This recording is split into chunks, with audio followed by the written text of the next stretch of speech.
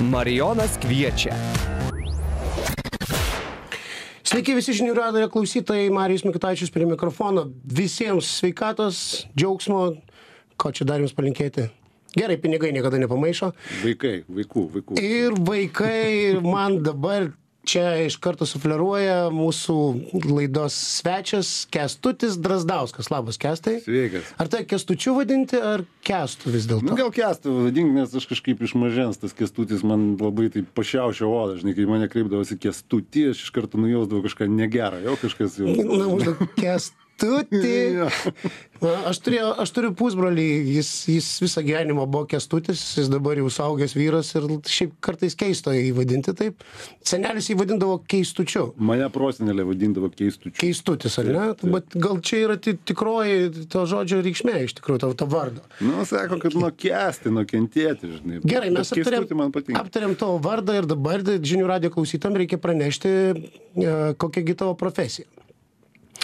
Ir čia yra labai sudėtinga, nes e, Kestas yra vienas iš tų žmonių, kurie tuo pačiu metu užima siaubingą kiekį pareigų. Aš trumpai tiesiog pasakysiu, jog 2003-aisiais Kestutis Drasdauskas įkūrė kompaniją Artbox, kuri pagamino virš dešimties trumpametražių ir pilnametražių filmų. Taip pat jis yra bendrasavininkas Cineveros, filmavimo ir apšvietimo technikos. A, taip pat jisai yra įkūręs įvai kelių prodiuserinių kompanijų klasterį Vilniuje. Taip. Ir maža to, šiaip yra nepriklausomų prodiuserių asociacijos pirmininkas. Mm, vis- Visiškai tiesa, taip. Ir visos tos veiklos, vienos dar nepaminėjau, mes prie jos prieisime, praktiškai visos tos veiklos yra absoliučiai susijęs su kinematografija, su kinu. Mm, taip. iš Daugmaž. esmės Taip, jo. Aš dabar dar, kad iš viso mūsų klausytojams būtų aiškiau, dar aiškiau, prie, prie ko tu esi prisilytėjęs ir kokius daiktus paverti auksu, sakysiu filmų pavadinimus ir tu, tu man labai trumpai pasakysi, geras tas filmas ar blogas, gerai? Taip, ta- tai tu prisilietėjai Santa, Taip. Geras filmas. Laiškai Sofijai, E, vidutiniškas filmas, nelabai. Elegija medų ir degutui, Na, čia dar nebaigtas projektas, čia vienas iš mano skaudulių, kurį dar turiu pabaigti. a, ką Dievas savo galvoja, Tas labai geras, fainas filmas, jo. Ren- rendezvų, rendezvų, Mm, vidutiniškas. tėvė mūsų, Neblogas filmas. Paternoster, jau puiku, tik dar šiek tiek. Labai geras filmas. Labai geras, rekomenduoju pažiūrėti. Nu, jo. Mano tėvas, E, Sunkus toks filmas, bet ne, nežinau, nėra mano favoritas. šokantis kirminas, Mm, Įdomus, gražus, estetiškas filmas, šiek tiek mislingų siužetų. Diringas, Dyringas, taip, vienas iš, reiškia, čia buvo pirmasis pilnametražis Igno Miškinio filmas, e, irgi nėra mano favoritas. Baltos dėmesio mėlyname, Čia vienas iš mano mylimiausių filmų. sekmadienis toks, koks yra. E, Igno Jonino pirmas trumpametražis filmas ir toksai detektyvinė istorija visai mm, man geri prisiminimai. Gerai, ir dabar pasakyk pavadinimą filmo, dėl kurio tiesą sakant tu ir sėdi dabar studijoje, nes karštom pėdom einam, nuo rugsėjo antrosios plačiai visuomeniai jau rodomas kino teatruose. Filmas Dvi naktis iki ryto. Tai čia bendras darbas su suomiais.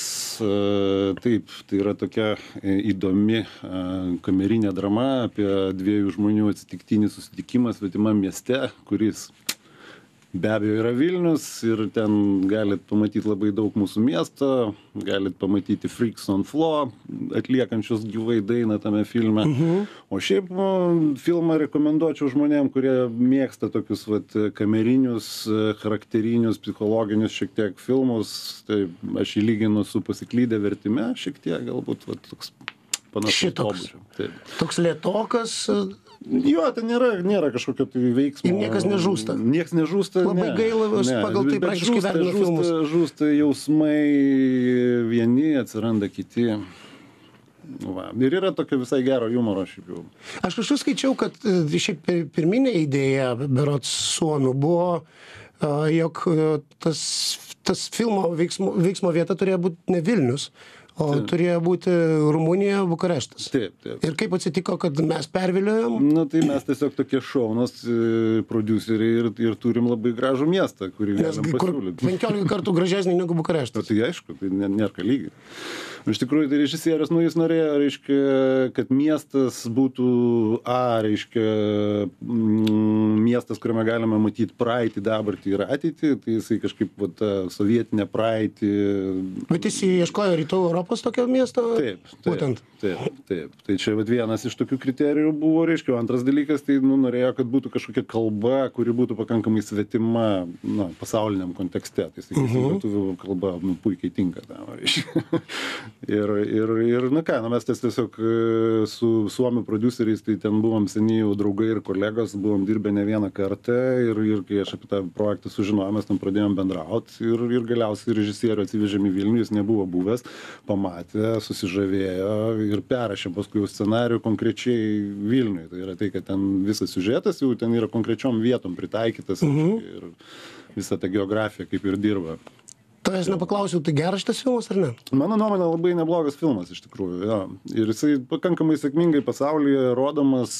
e, Ten prasidėjo jo kelionė nuo Monrealio, ten gavo Monrealio kino festivalio už geriausią režisūrą prizą. Monrealėje gavo už geriausią režisūrą, todėl kad tenai vaidina šiaip kanadietė aktorė. Na, tai čia manau, kad tai buvo viena iš priežasčių, kodėl tą filmą paėmė į festivalį, bet, bet kad jisai laimėjo, tai tikrai ne todėl laimėjo, todėl kad geras filmas.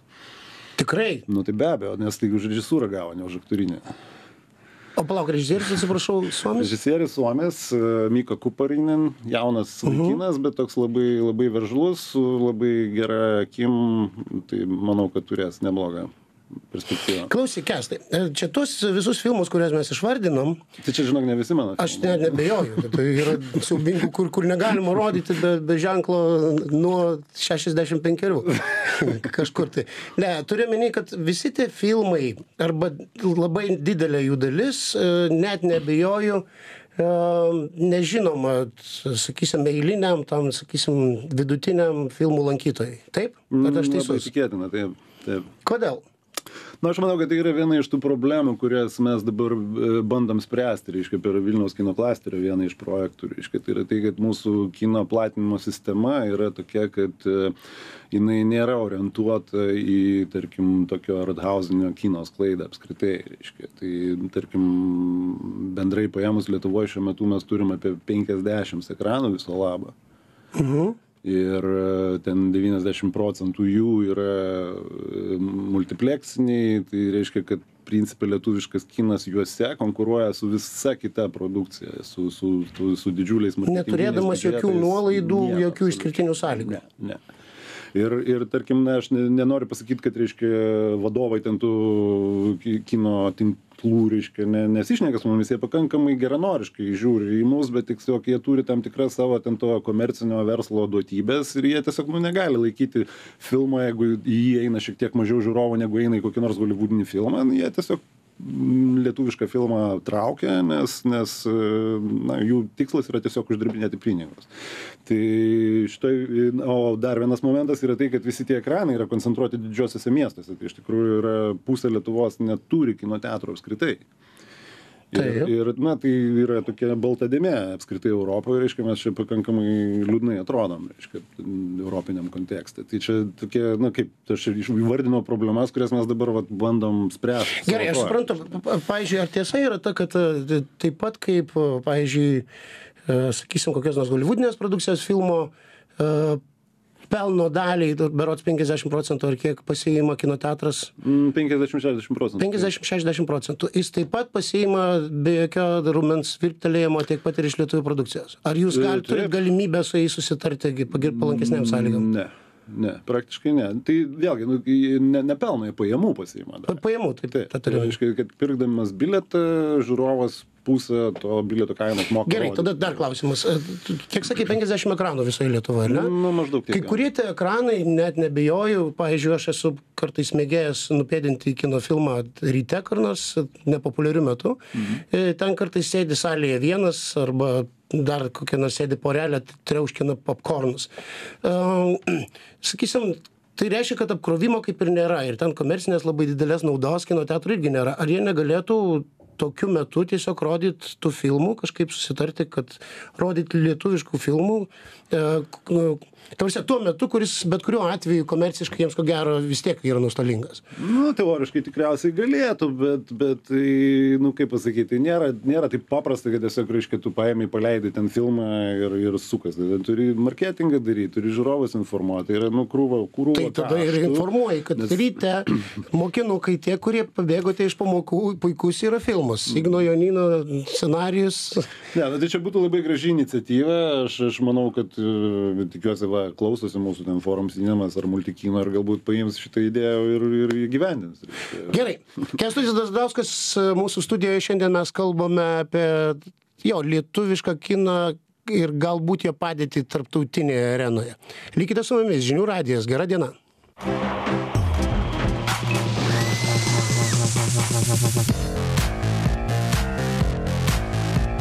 Marijonas kviečia. Kestutis Drasdauskas mūsų studijoje žmogus, a, kino prodiuseris, vadinkime tai ben, ben, ben, bendru žodžiu, bendrais dviem žodžiais, e, žinantis ko gero viską apie kiną ir štai kas man įdomu. E, Vėlgi, tie filmai, kuriuos, apie kuriuos mes čia užsiminėm ir prie kurių tu buvai prisidėjęs. Ar galima sakyti, kad nei vienas iš jų nebuvo komercinis? Turime nei komercinių mes vadinkim, sustarkime, filmą, kuris e, atneša pelną. Ir, ir kad, kad e, jūs liekat be kelnių ir kad nereikia paramos iš valstybės, e, jūs patys investuojate pinigus ir patys arba bankrutuojat, arba turite pelną. Nu, taip, nu, pradėkime nuo to. Komercinis. Man komercinis kinas iš tikrųjų, na, aš to ne, nemėgstu to termino iš tikrųjų, nes visi filmai yra komerciniai. Klausimas yra koks. Ar visi tie filmai iš koks- tikrųjų yra komerciniai? Nu, jie visi yra, prasme, ir klausimas tik tai, koks tas komercinis potencialas filmo. Čia yra pagrindinis klausimas. Gerai, pa- padarykim taip, tada aš, aš tau padėsiu. Ne. E, komercinis filmas, aš įsivaizduoju, ten Valentinas vienas, e, arba ten moteris meluoja geriau. Nu, kitaip tariant, turinys vardant pinigų. Taip, tai yra, nu, kur aišku ir, ir kur kuriejai nei, nei trupučio neslepia, kad taip mes darome biznį ir daug dievė, kad mums pasisektų ir mes plojam katučių, jeigu jiems pasiseka, viskas labai gerai. Na, A, tai- ar, ar tu prie tokių filmų dirbai kada? Aš e, taip atsakysiu. Ta Prasme, be tų filmų, kuriuos aš produsuoju kaip, kaip reiškia, pats projektų iniciatorius ir, ir mm, dalinis finansuotojas. Reiškia, aš darau dar filmus, kuriuos mes vadinam servisu. Tai yra tai, kad aš atlieku, tarkim, line producerio funkcijas. Reiškia, tai yra ka- kažkoks svetimas projektas, kurį aš įgyvendinu. Aš mm, samdau, reiškia, grupę ir panašiai. Tai tokių filmų komercinių aš esu daręs gyvenime, įskaitant televizijos serialus pakankamai rim, mm, rimtus, reiškia, ir, ir, ir, ir komercinių filmų esam gaminę. Bet tai nebuvo mano inicijuoti projektai.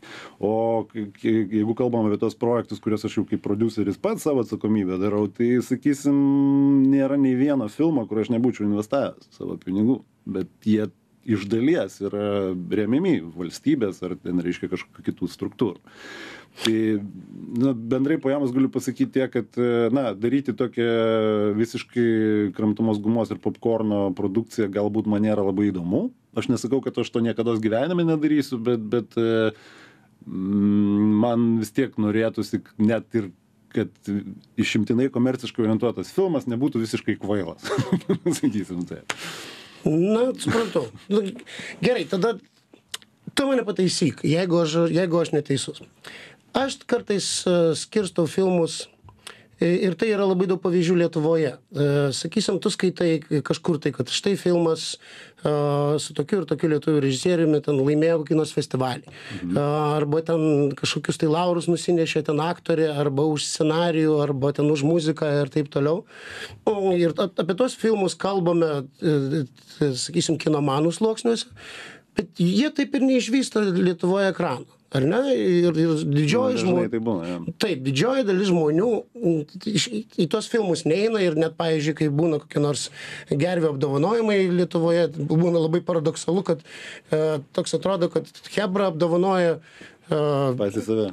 Hebra apdovanoja filmus, kurie plačiai visuomeniai nežinomi. Tai yra kažkoks tai uždaras, uždaras ratas žmonių ir, ta prasme, kur kritikams galbūt aišku, bet plačiai visuomeniai ne. Ir tada tu įsivaizduoji taip, kad galbūt yra kategorija filmų, kurių yra tikslas važinėti po, po festivalius ir kažkokius ten nuskinti laurus, tačiau visiškai nėra joksai tikslas iš esmės pritraukti žmones. Na, aš manau, kad nėra visai taip. Supranti, yra, tarkim, yra tie filmai, kurie yra išimtinai pasilinksminimui skirti, ar ne? Tai tie pritraukia daugiausiai žmonių. Taip. Kaip Arūnas Matelis, kaip sakė, sakė, jeigu aš daryčiau filmus pagal tai, kiek jie daugiau parduotų bilietų, tai sako, aš daryčiau pornografiją. Tai, tai, tai, vat, Na, jam nepasisektų su, su žinot. dabartiniam pornografijos galimybėm. jo, bet e, kaip ten bebūtų, ta prasme, tai e, aš tiesiog noriu pasakyti, kad yra tam, tam e, visą laiką buvo ta takoskara nuo pat pradžių, jinai istoriškai susiklostė, reiškia, buvo filmai, kurie buvo daromi pagrindė Amerikoje ir Hollywoode, reiškia, kurie buvo tas entertainment, vadinkim, ir buvo kita mokykla, kuri pagrindė buvo Prancūzijoje ir tai buvo art. Tai yra, nu, menas. Tai, va, sakysim, kinas kažkaip tai jisai matyti ir balansuoja tarp tų dviejų tokių visiškai kraštutinių taškų. Ir, ir, ir sakysim, festivaliai šiuo atveju, jie yra svarbus tuo, kad e, kino pasaulyje yra pagaminama žiauriai daug. Europai pagaminama virš tūkstančio kino filmų per metus. Tai Europa gamina daugiau negu Hollywoodas. Hollywoodas apie tūkstantį gamina. Aiškiai, o plus dar yra Bollywoodas, yra Afrika ir taip toliau. Aiškiai, yra -huh. didžiulis kiekis filmų, kurie išeina į rinką arba neišeina į rinką. Tai, tai yra tai, kad, na, kie- kiekvienas iš tų projektų yra tam tikras, e, nu, lošimas, ar ne? Ta prasme, ir tu net turėdamas didžiulį biudžetą ir aukš, e, e, didelės žvaigždės, gali turėti visišką nesėkmę. Ir tas Hollywoode tas irgi vyksta, nepaisant to, kad jie daro išimtinai komercinį kiną, jisai tiesiog vat, neprasiduoda. Vėlgi negali kalbėti apie visą Holivudą, ten pasirodo puikių kartais filmų. Šitai ne, Tiesa. ne, ne visi tenai. Tiesa, tai vat, Batmanas prieš grobuonį. vi- Visi apibendrinimai yra nu, riboti tam tikrą Taip. prasme. Ne? Bet dabar jeigu kalbėt apie e, festivalius, reiškia ir tos filmus, kurie ten važinėja po festivalius, laimi prizus ir taip toliau, aš į tai žiūriu kaip į, sakysim, tokią platformą, kurioje uh, atsiskleidžia, sakysim, filmai, kurie yra iš tikrųjų įdomesni meninių požiūrių. Ir tų festivalių viena iš pagrindinių um, užduočių ir prasmių yra tai, kad, reiškia, jie atranda tos naujus e, menininkus, kuriejus, vardus, reiškia, aktorius ir panašiai. Ir tuo būdu Kuriuos paskui pasiima plačioji rinka. Taip, ir, ir nu, jie tuo būdu leidžia tiem filmams išsiskirti ir gyventi, ar ne? Nes, sakysim, iš tos Europos ten pagaminamų tūkstančių filmų tikriausiai nuskamba, reiškia, per metus ten koks daug dievė 50, reiškia. Visi kiti susiranda savo kažkokias nedidelės nišas, reiškia, ir, nu, jie kaž, kažkokį tą gyvenimą gyvena, bet nebūtinai jie žinomi visai plačiai visuomeniai, žinai. Tai, nu, sakysim, e, mes šiuo atveju tokios mažos tautos su maža lingvistinė populiacija, mes nu, esam labai pažeidžiami ir turim labai daug problemų šiuo atveju, ne? nes Vokietijoje, pavyzdžiui, pagaminsi filmą, sakysim, ten jo nepaims kino teatrai, nes nepamatysime komercinio potencialo, tai tu jį vis tiek gali ten parduoti kokią nors regioninę televiziją ir ten yra pakankamai žmonių, kad tai, nu, tu iš to galėtum daryti kažkokį tai verslą, žinai. O pas mus iš principo yra, nu, labai ribotas. tas Gerai, bet iš mūsų diskusijos gaunasi taip, kad iš esmės mm, yra ambicija, ko gero, kad n- filmas būtų ir pakankamai atiduotų duoklę tam tikrą ir menui, ir jis būtų pakankamai meniškas, bet kad plus dar žmonės jį žiūrėtų. Taip.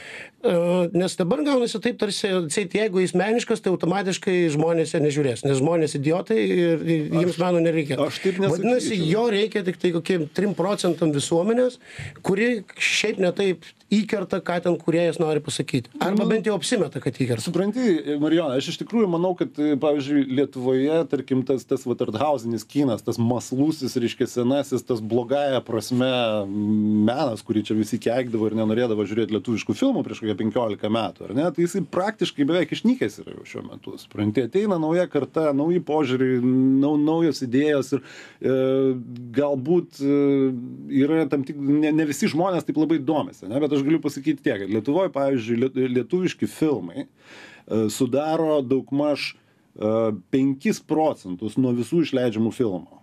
Bet auditorijos dalis lietuviškų filmų yra apie 20 procentų.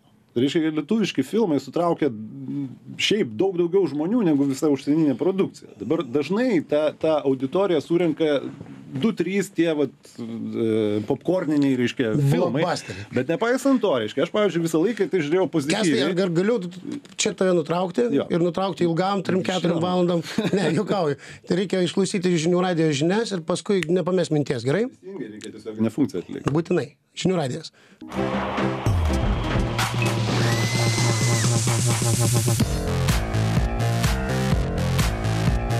Marijonas kviečia.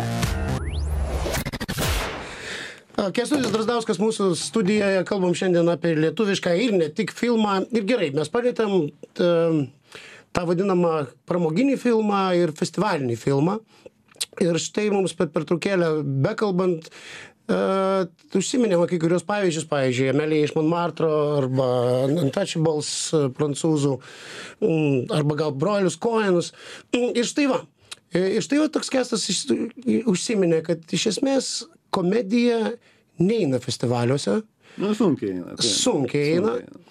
Ir ar čia nėra tas iš tikrųjų tas e, mūsų toks e, labai dažnas beje daugelį meno sričių toks e, snobiškas požiūris, kad tai, kas šiek tiek dvelkia pramogą, vadinasi, nebegali būti gilu.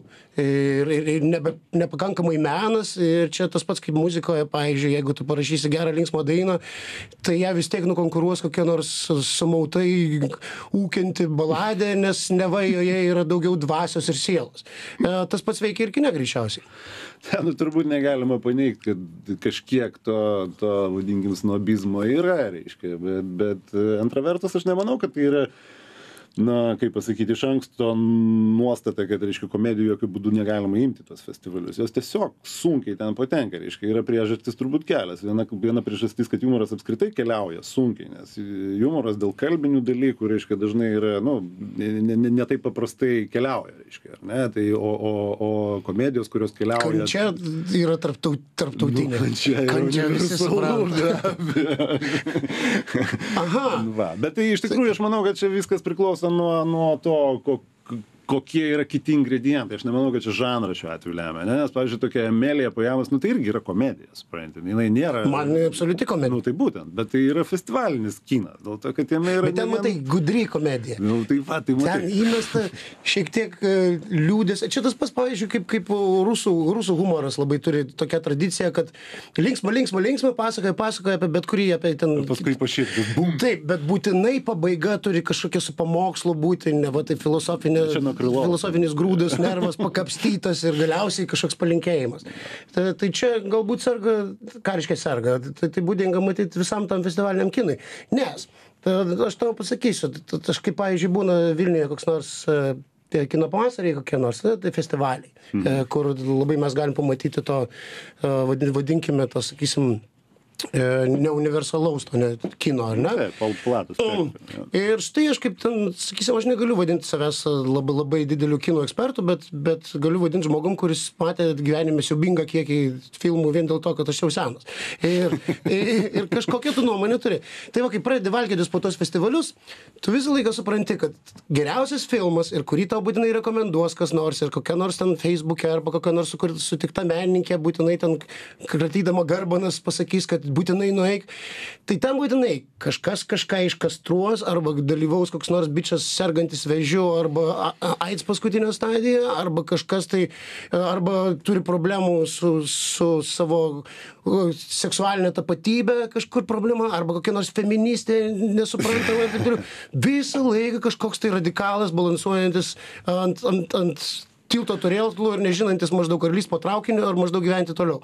Čia yra esmė festivalinio filmo, taip? Aš suprantu, aš tu ne- tik tokį gali gaminti. Ne, manau, aš manau, kad tam tikra prasme kinas apskritai galbūt tokia, mm, šiokia tokia krizė išgyvena, žinai. Na, ta prasme, festivalių, aš manau, vienas iš tokių kriterijų dar yra naujumas, progresas, reiškia kažkas tai, kas judina tą kinematografą į priekį. Kadangi to kino yra daroma tiek daug.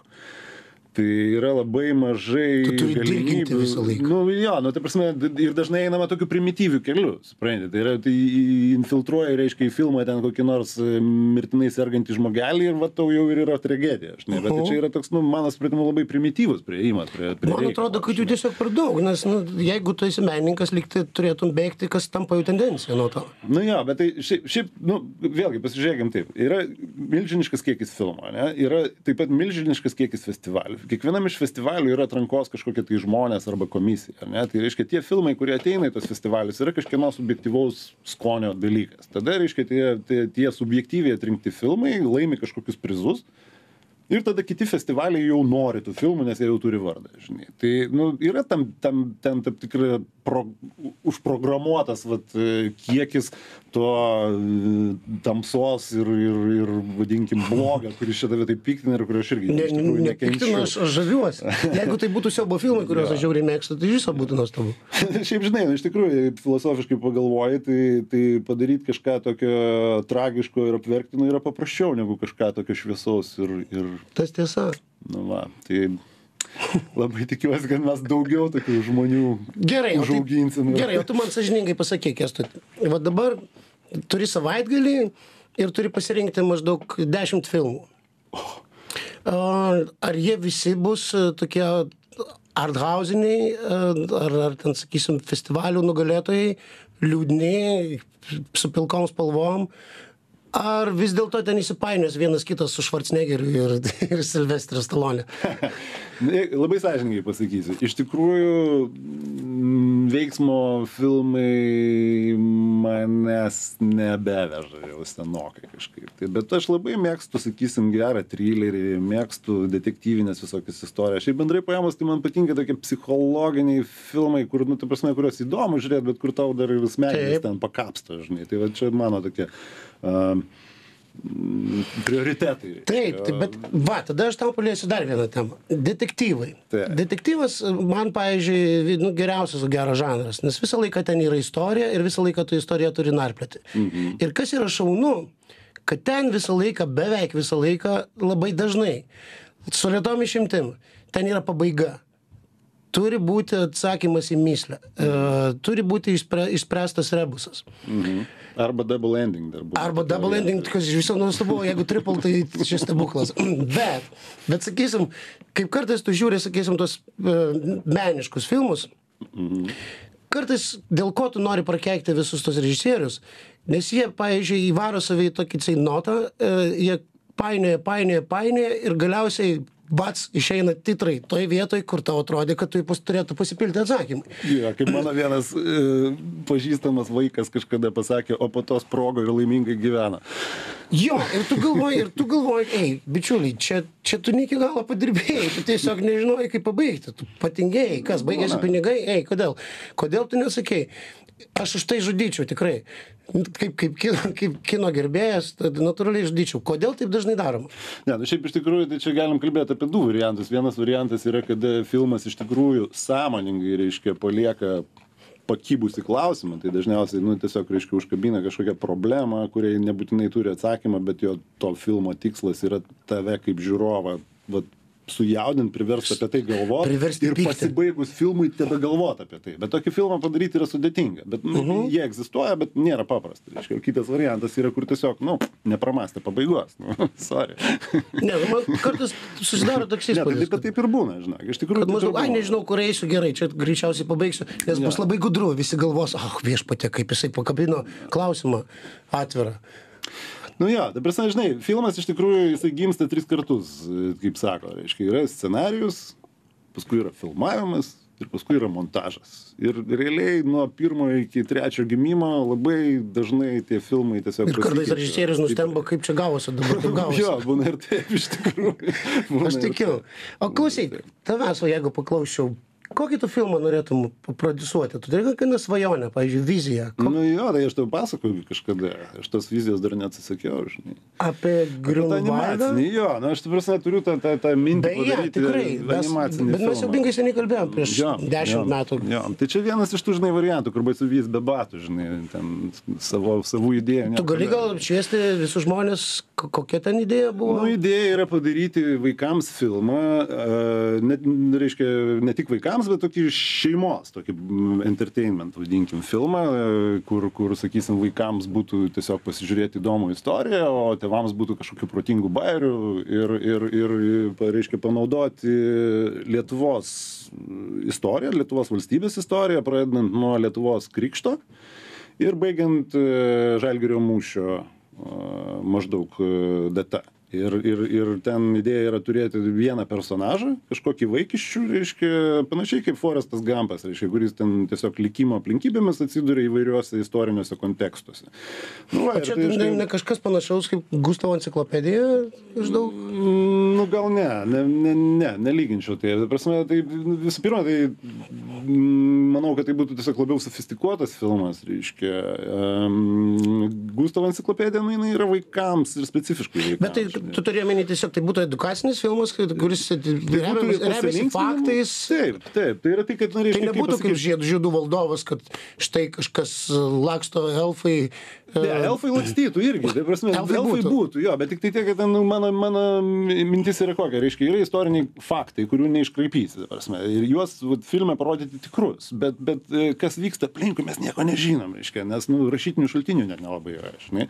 Tai vadinasi, gali interpretuoti. Gali interpretuoti, būtent. Tai sakysim, krikštas buvo, buvo, ėjo lietuviai ten į vandenį, ėjo, dėl ko, dėl to, kad drobinius marškinius gavo. Nu, faktas, faktas. Tai, tai tas bus.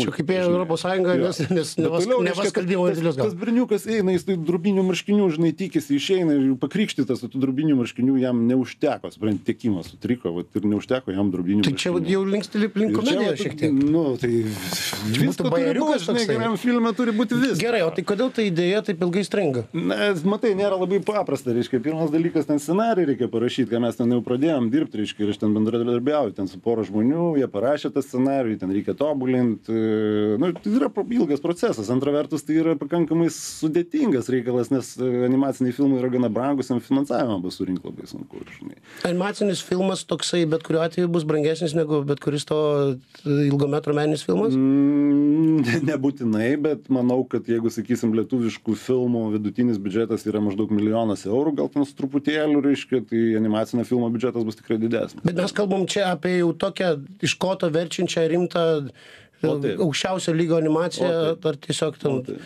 kartoniniai žm- žmogučiai vaikščios. Tokie. Ne, ne, rimta animacija, be abejo. Tai, o, o tu ten dainuosi, kaip mes kalbėjome, ne, tam filme. Su, sudainuosi man kunigaikštį Vytautas. Rimtai mes apie tai kalbėjom. O, Aš galvojau, kad aš ten vaidinsiu. Tai vaidinsi, be abejo. Nu, tik tai, kaip sakant, Ir gerai, ir tenai, ir, ir, ir stringa, tai, bet jisai iš, iš, iš, išvys dienos šviesą ar ne?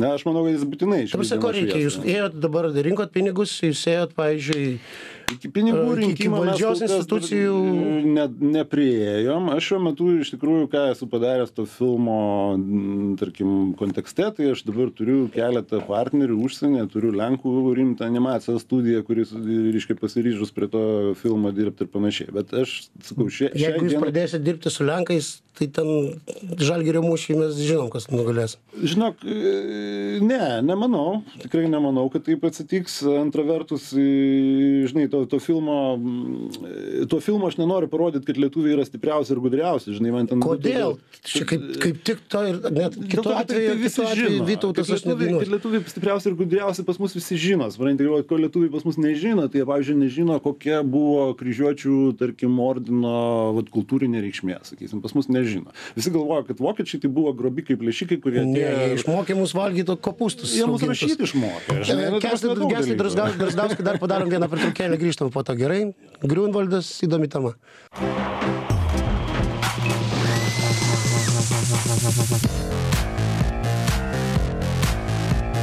Marijonas kviečia. Kestutis Drasdauskas žinių radio studijoje, mes kaip tik prieš tai kalbėjome apie d, naują idėją fix, e, kuri kirba jo galvoje ir žinau, kad daugybę metų Jinai jau sena, kaip, jau kaip nauja. sena kaip, kaip žalgerio mūšis. E, ir- būtent pagaminti, pastatyti animacinį filmuką susijusiai su Lietuvos istorija iki žalgerio mūšio. Žalgerio mūšis būtų tas paskutinis akcentas. Na tai. Aš noriu, aš tau visai uždyką duosiu, at, at, atskleisiu idėją. Nu, bet aš turiu liudininkų visą auditoriją, kad uždyka. ne? Gerai, Ne aš čia. absoliučiai uždyką. Ar galima padaryti taip, žinai, kai žaidži kompiuterinius žaidimus ir tu, pavyzdžiui, atstovauji kokį nors civilizacijai, tai ten gali pasigaminti pabaigoje kokį nors ypatingą ginklą, su kuriuo ten viską sunaikini. Mhm. Tai gali lietuviai pasigaminti kokią nors, nežinau, Javelin raketų sistemą ir, ir, ir šaudyti visus. Šaudyti, išsprogdinti. tu nori tokios tarantiniškos Pabaigoje pabaigos, ane? kulkos vaidžiai ten, Jo. kad būtų Ir gražu. kulko- Kulkos atšoka nuo šarvų, reiškia, ten. Gerai, tai vadinasi 20, data 2020, Na, manau, kad taip realistiškai tai būtų, jo, 20 metai. galima tikėtis, ar ne? Galima tikėtis, jo. Tikėti svarbiausia, žinai. Kaip tu manai, kodėl mes šiaip Lietuvoje e, iš viso yra toks mažas dėmesys, um, sakysim, kaip čia vadinti, greičiausiai propagandiniam patriotiniam kinui. E, Lietuvoje apskritai mažas dėmesys. ir kinui. jeigu, jeigu kažkas ir bandė ten sausio 13-ąją, e, apie ką mes ten galim kalbėti dar, pavaizduoti, tai, na, tai yra tokie bandymai, sakykime, ne iki galo rimti. Kodėl taip yra? Kodėl va, mūsų draugai gal- estai pasistato kažką panašaus? Oi, e, žinai, aš, aš manau, kad tai yra, visų pirma, tai yra labai tokios jautrios ir, ir dar iš tikrųjų nesenos temos, žinai, ir lietuviai turbūt irgi yra tokie truputį intravertai ir jie galbūt, nežinau, vengia, bijo apie tai išnekėti, nežinau. Jeigu sąžininkai, tai man sunku atsakyti tą klausimą. Sunku. O ta, tie bandymai jie nelabai vykę, nes nelabai rimtai prie, prie klausimo buvo prieita, žinai. Ir, ir tarkim, ten, kada Britas, kuris ten iš laikraščių žino apie tai, kas buvo ten sukurpęs scenarių, pabando tai parodyti, nu, tai atrodo kaip minimum apgailėtina, žinai, jeigu ne. Nes, pavyzdžiui, kiek tu žinai vat, istorinių lietuviškų kinų e, filmų? Na, o gerai, jūs prisidėjot nu, laiškai Sofijai, pavyzdžiui, vienas buvo iš panašių, gerai. Na, kas dar?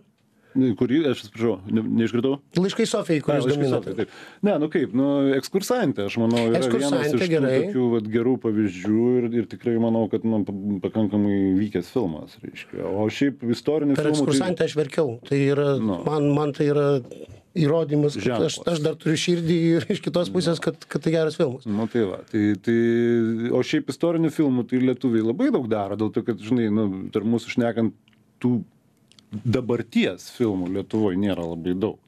Dauguma filmų kažkaip yra arba istoriniai, arba kažkokie tai fikciniai, reiškia, Lietuvoje.